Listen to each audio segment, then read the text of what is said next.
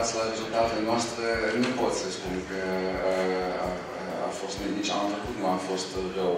Cred că avem o situație care este, așa cum văd eu, care este stabil, uh, este gestionabil, dar evident vrem, vrem mai mult.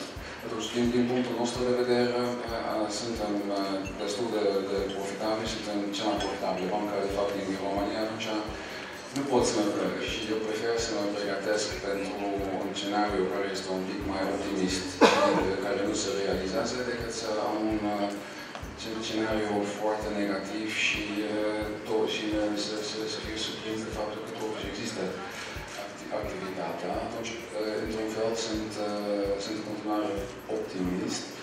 Clar că cererea pentru credit este foarte slabă. Este slabă cererea pentru credit? E slabă, e slabă în primul, primul trimestru, dar pe ansamblu pe an mă aștept la creștere. Deci, pe termen lung, cred că, într-adevăr, vom vedea să asista la o, o consolidare.